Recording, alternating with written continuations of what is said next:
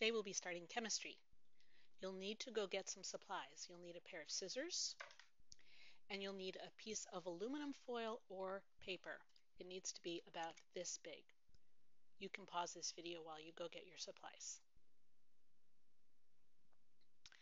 So you're going to need a piece of aluminum foil or paper that's about this big. And the first thing we need to do is look at its properties. So we're going to notice what it looks like, what it feels like, is it shiny? Is it smooth? Does it have a smell? Mine doesn't. The color is kind of silvery. It's very flat, not very heavy. Those are all the properties that we notice. Next, we're going to cut it in half.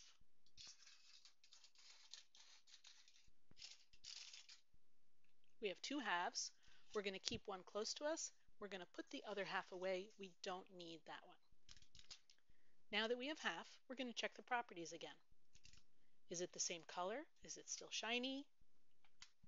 The properties are the same. Let's cut it in half again. So we're cutting our half in half. So now we have fourths. We're going to keep one fourth and put the other fourth away. We don't need that. We only need one fourth. Let's check the properties again. Still shiny, still silvery colored, same properties. We're going to cut it in half again cutting our fourth in half, so we're left with an eighth. Let's check the properties again. Still shiny, still same color, same properties. Let's keep doing that. Keep cutting in half. This is an eighth. I'm cutting my eighth in half. I'm keeping a sixteenth, checking the properties, they're the same. Cutting my sixteenth in half. One thirty-second of what we started with. Check the properties, same color, same properties. Keep cutting, keep checking the properties. Keep a half each time. Keep cutting until the piece is so small that you cannot cut it anymore. Keep cutting. If you need to pause this video, you can. Okay, don't lose it. it's very small. Let's check the properties one more time. Same color, still shiny, same properties.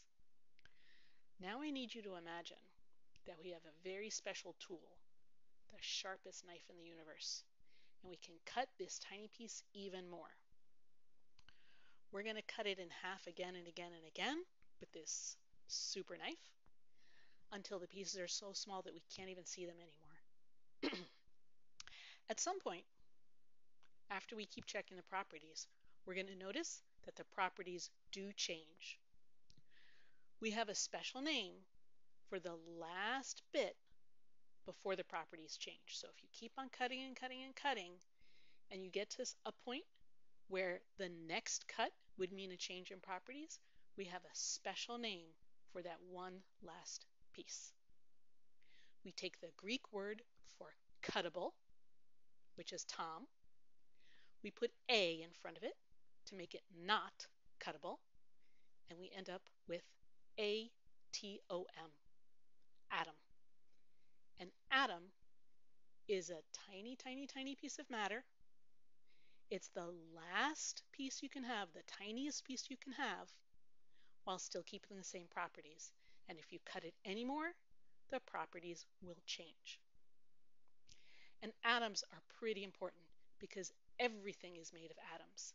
Everything in your body, everything in your house, everything on Earth, everything in the entire universe is made of atoms.